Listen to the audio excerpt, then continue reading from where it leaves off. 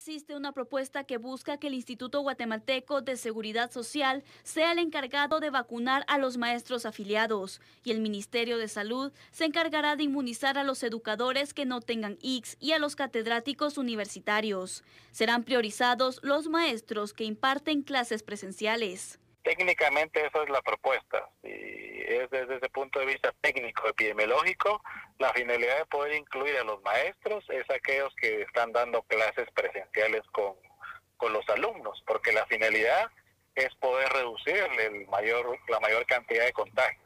Esa es una de las razones principales por las cuales se incluyeron dentro de la segunda fase del plan de vacunación.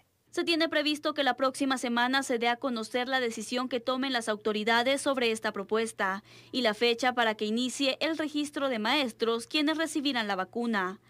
Aproximadamente 254 mil educadores estarían recibiendo la vacuna contra el COVID-19.